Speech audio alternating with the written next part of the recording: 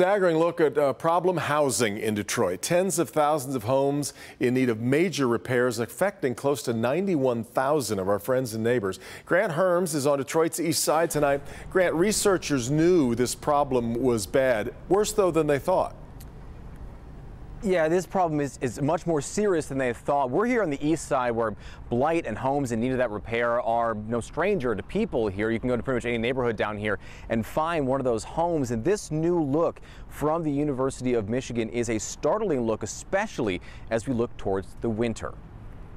The report looked at 2,000 Detroit homeowners, asking how satisfied they were with their living conditions.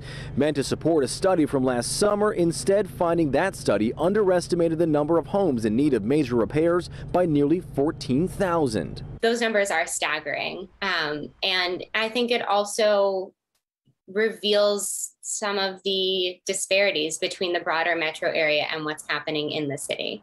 According to researchers, nearly 38,000 homes are in need of repairs, or roughly 91,000 Detroiters are living in substandard housing.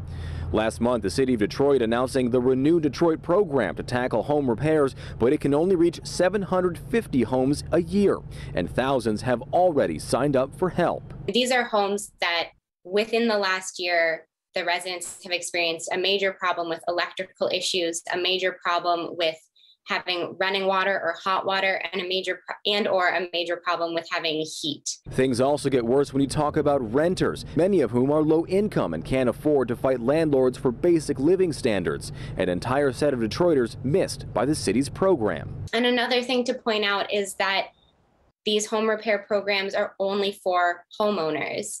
And that means that there are a lot of renters who are living in inadequate quality housing conditions and there's no resources for them.